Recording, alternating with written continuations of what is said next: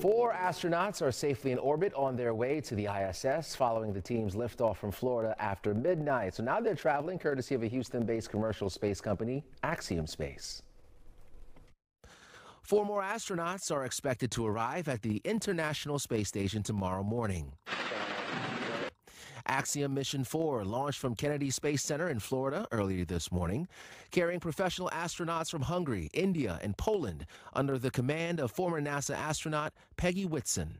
Incredible ride uphill, and now we like to set our course for the International Space Station aboard the newest member of the Dragon fleet, our spacecraft named Grace.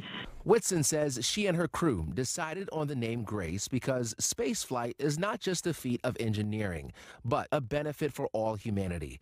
Their research in space will include medical experiments, including testing the performance of insulin pens and glucose monitors in weightlessness. It may also one day open the door for people with diabetes to become astronauts, as well as benefiting patients in long term care.